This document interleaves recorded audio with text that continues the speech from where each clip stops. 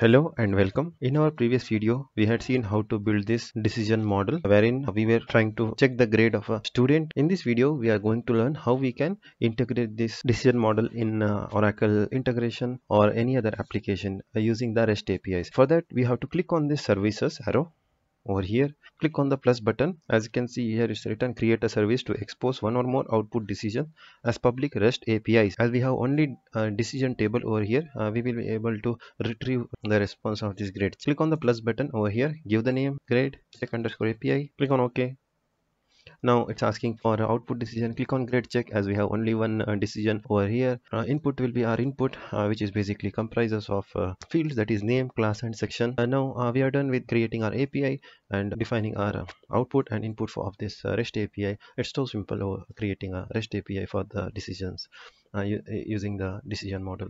Click on this uh, hamburger menu and click on the payload so that we can get the url and request and response sample uh, json schema. Click on the payload if you click on the url you will get the url uh, which uh, can use to consume from uh, so postman insomnia or uh, we can build a connection in oracle integration. As you can see uh, we have got this url uh, with the help of which we can build our oracle integration connection for consuming within integration or within any other application which is capable of consuming rest apis click on the request payload. Here if you see our this is a json schema. It accepts the input having three objects over here name class and the uh, section which is of type string and the response uh, we have grade check and uh, pass. We can copy this url and go to insomnia. Before that we can do is we can activate this. Now let us activate this grade checker before calling this application. For that we have to click on this activate button over here uh, here we can uh, create a snapshot. We can give the snapshot name over here. If we have already created the snapshots uh, earlier we can uh, consume that from there. If not we can time of activating we can create a,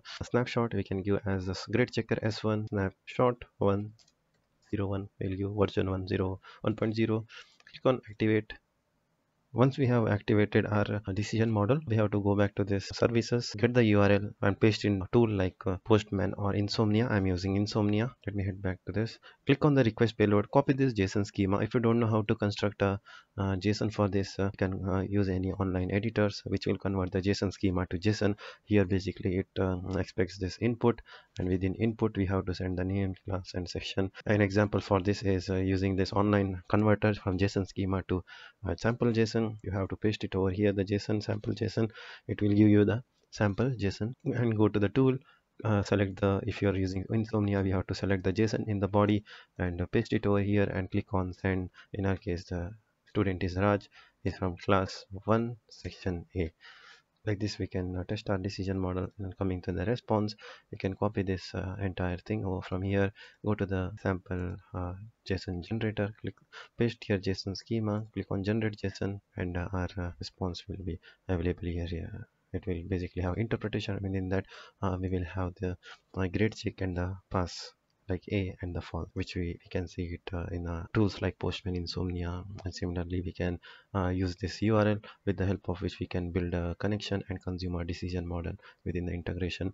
In our next video we will learn uh, how to make use of this if then else statements uh, and build a decision model.